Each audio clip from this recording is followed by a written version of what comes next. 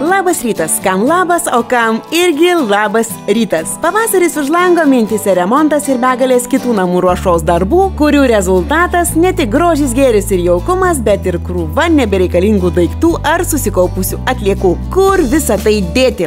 Vežti į didelių gabaritų atliekų surinkimo aikšteles, kuriuose įrengtos ir dėkui stotelės. Jose galite palikti dar veikiančius savo funkcijas atliekančius ir tvarkingus daiktus, kurie gali būti naudingi kitiems.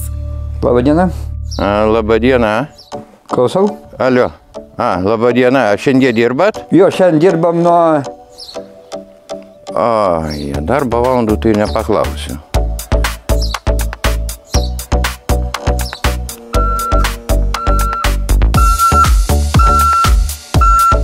Taip, klausau. Dar kartą labą dieną. Skambinu, pamiršau paklausti darbo valandų, nuo, nuo kiek iki kiek. Šiandien dirbam nuo 9 iki pusė 4. Tu pietus nuo 12 iki pusė 1. Visą laiką pietus tai būna. Aha, ačiū, ačiū.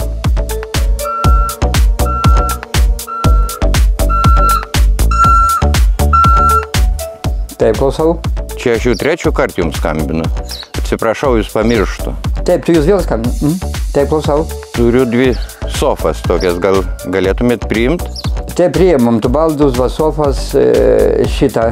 Taip, ačiū. Česlovas kartu su kolegė Vilma didelių gabaritų atliekų surinkimo aikštelėje darbuojasi, galima sakyti, dviem frontais. Reikia ir į skambučius atsiliepti, ir su kiekvienu atvažiavusioju pabendrauti, pažiūrėti, kiek kokių atliekų atvežė, ar teisingai pristatė, parodyti, kur jas palikti, atvežtas atliekas, užregistruoti ir gero kelio palinkėti. Na, o kai pavasaris ir visi tarsi miegoja žiemos miegų pabudę ima namų generalinę tvarką užsiimti, atrodo, kad populiariausia kelio kryptis - didelių gabaritų atliekų surinkimo aikštelės. Na ir nusidriekia eilės.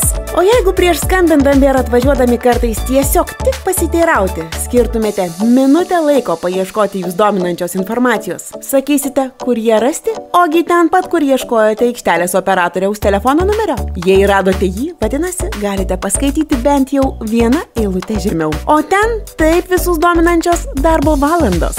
Dažniausiai užduoda, ar šiandien va dirbame, e, dirbame. Nes žmonės nepažiūri nei internete, tai nieko, jie galvoja, kad mes visą laiką dirbame, čia būdime, čia visą laiką va sėdim va. Ir šitą, ir pirmadieniais va, galvoja, kad dirba, va, nes mums pirmadienį va išeiginė, jie galvoja, kad, kad į pirmadieniais dirbam, va skambinėja, tu labai dažnai va klausia. Va. Stengiamės visą laiką padėti, kad, kad žmonės tu gautų teisingą informaciją, kad gautų, va, į kad, kad veltui va, paklausė, kad veltui nevažiuotų ir kai nebedirbame. Va. Taip, klausau. Trečių kartų labą dieną, ar jau ketvirtų, nežinau kaip aš vis pamirštu dar. Jūs vėl. Mhm, ta- taip, klausom. Prisiminiau, kad padangos yra, dabar ten nežinau kaip su jom. E, padangos e, vienam e, keturi tų vienetai, automobilio va nereikia turėti. Gali kiek, pri, priduoti kiekvienas. Va. A, aha, aha, aišku, aišku, gerai. Gerai, ačiū.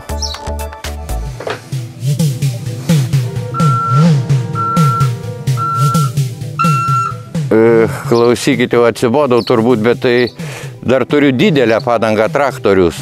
Tokias irgi įmat. Nei krovininių automobilių, nei, nei traktorių, nei žemės ūkio padangų nepriimam. Galit pažiūrėti va internete, jį pamatysit, kur, yra, kur galima jas priduoti.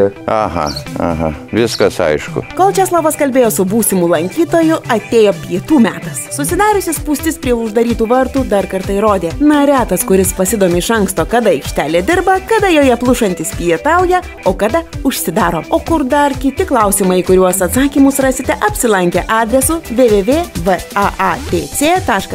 pasvirasis brūkšnys aikštelės. Sklandaus jums namų tvarkymo ir pavasario be bereikalingos įtampos ir nervų deginimo. A, na, va. jau numerį įsiminė, turbūt neatsiliepė. Ai, tai jau, jau žmonėm ge- gerai įgrįsau turbūt. Įdant atliekų kultūros diena rojuje nevirstų pragarų prieš apsilankydami didelių gabaritų atliekų surinkimo aikštelėje, pirmiausia apsilankykite puslapyje www.vaatc.lt.